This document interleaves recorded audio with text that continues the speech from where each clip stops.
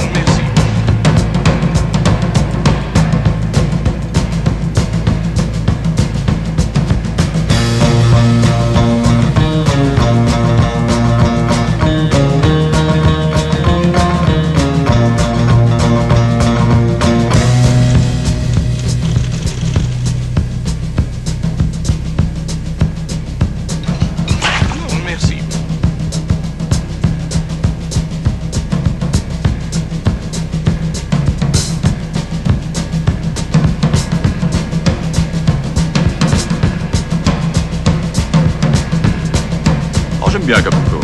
Je vais probablement y passer cet hiver.